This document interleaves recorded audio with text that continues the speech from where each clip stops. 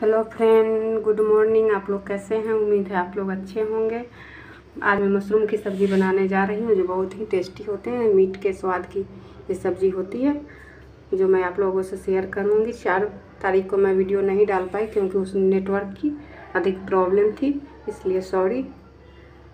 इस इसमें लगने वाले इंग्रेडिएंट्स मैंने इसको पहले मशरूम को अच्छे से धुल लिया है, और मैं इसे चार भागों में कट करूँगी। उसके बाद गर्म पानी करूँगी। दो गिलास के लगभग मैं गर्म पानी ली हूँ, इसको गर्म करूँगी और इसमें पहले मैं मशरूम को अच्छे से उबालूँगी।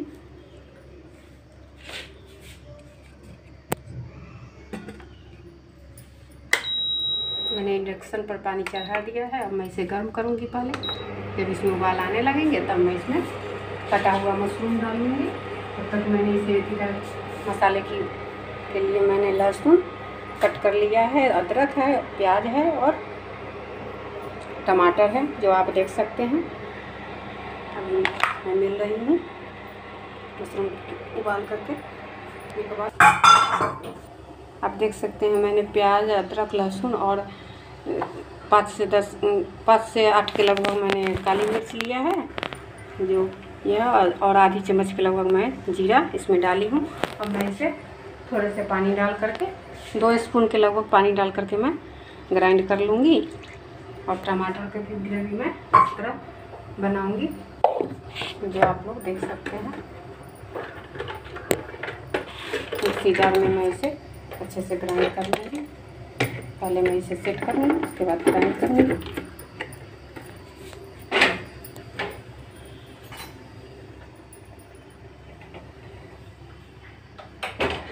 आप देख सकते हैं इधर।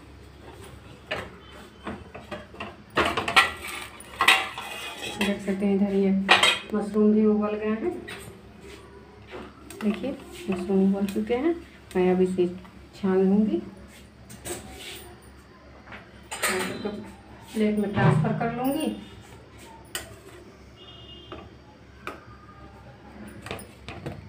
और थोड़ा सा इसे मैं ठंडा होने दूँगी, उसके बाद मैं इसका फ्राई करूँगी, जो आप लोगों के सामने मैं अभी दिखाऊँगी। दो मिनट के लगभग लगेंगे इसे ठंडा होने में। फिर मैं आपसे मिलती हूँ।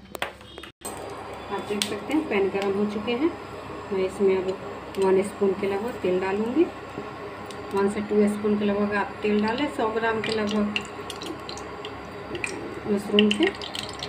इसमें तेल पर्याप्त है इसको भूनने के लिए फ्राई करने के लिए। मैं इसमें इसको अच्छे से फ्राई करूँगी।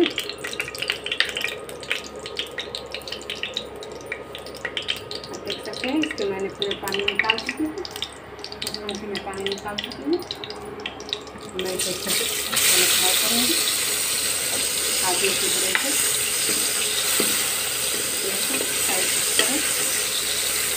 ये हल्का रेड हो जाएगा तब मैं इसे निकालूँगी आधी के अलावा मैं जीरा ली हूँ और तेज पत्ता और एक रेड चिली मिर्च और प्याज। तो मैं सब कुछ भूनूँगी, उसके बाद में मैं मसाले जो ओनियन वाले मसाले जो हैं इसमें मैं सूखे मसाले और ऐड करूँगी। टमाटर का प्यूरे है। मैं इधर लेती हूँ। मशरूम।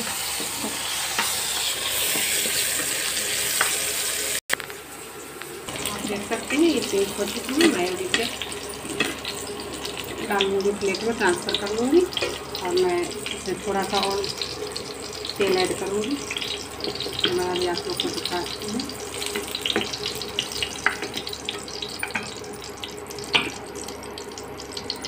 थोड़ा सा तेल ऐड करूँगी। आधी स्पून के लगभग ये तेल है। और मैं इसमें जीरा तेज पत्ता डालूँगी, जीरा डालूँगी। जो मैंने इसकी मात्रा आपको बताई है। मिर्ची को कट करके डालूँगी। जब ये सब हल्का सा रखने लगेंगे, सारे इंग्रेडिएंट्स तब मैं इसमें प्याज जो मैं कटती हूँ, लगभग इसमें दो प्याज बड़े लग जाते हैं। मेरे पास छोटे साइज़ के प्याज थे।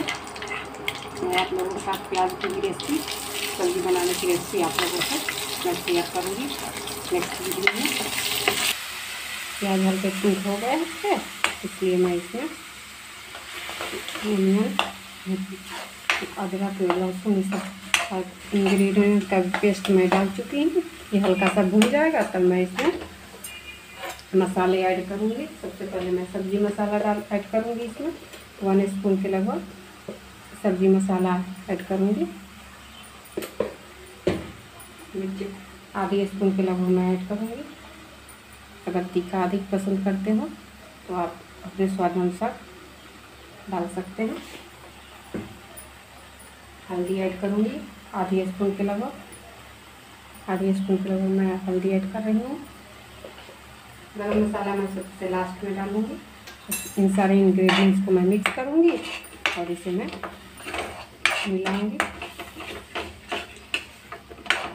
अगर मसाले में हल्के जलने लगे तो आप पानी ऐड कर सकते हैं। मैं टमाटर ऐड कर चुकी हूँ इसमें। और मैं सबको मिक्स कर रही हूँ। दो मिनट के लिए आप टमाटर को भी मिक्स करके अच्छे से मिला। अब आप देख सकते हैं, मसाले अच्छे से भून चुके हैं। अब देख सकते हैं, हल्की हल्के किनारे से तेल निकल रहे हैं। अब मैं मशरूम भी फ्राई की हुई हूँ, मसाला बिल्कुल भून चुके हैं। टमाटर मैंने इसमें ऐड करके दो मिनट के लिए भूना है। और मैं इसे अब इसमें ऐड कर लूँगी। और इसे अच्छे से मिक्स करूँगी इधर मैं धनिया पत्ता कट कर ली हुई है। जो आप देख सकते हैं। आप जितना चाहे उतना ग्रेवी रख सकते हैं। मैं यहाँ एक गिलास पानी ली हुई हूँ ग्रेवी के लिए।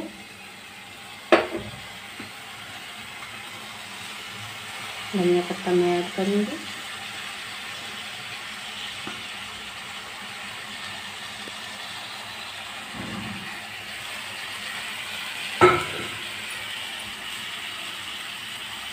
इसको मिक्स करूँगी और इसमें मैं आधे गिलास को लगभग मैं इसमें पानी डालूँगी। इसे 10 मिनट के लिए मैं ढक कर पकाऊँगी। उसके बाद मैं सर्व करते हुए आप लोग को दिखाऊँगी। आधे चम्मच से थोड़ा सा अधिक मैं गर्म मसाला डालूँगी और इसे भी ऐड कर लूँगी एक स्पून के लगभग मैं इसमें नमक ऐड करूँगी। एक स्पून में मैं इसे ऐड कर लूँगी सारे इंग्रेडिएंट्स को मैं मिलाऊँगी मिक्स करूँगी। और ये ग्रेवी थोड़ी मोटी लग रही है, इसलिए मैं इसमें लगभग एक गिलास के लगभग इसमें पानी लग भी जाते हैं। ये बिल्कुल मटन के स्वाद की रेसिपी है। और मैं इसे ढक दूँगी। जैसा मैंने आप लोग को बताया, दस मिनट के लिए मैं इसे अच्छे से पकाऊँगी।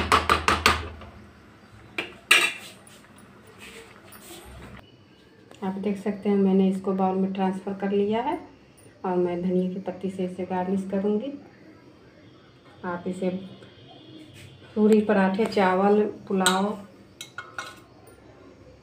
के साथ अच्छे से खा सकते हैं इंजॉय कर सकते हैं। पूरी मटन की स्वाद की लगती है। उम्मीद है आप लोगों को मेरी वीडियो पसंद आएगी।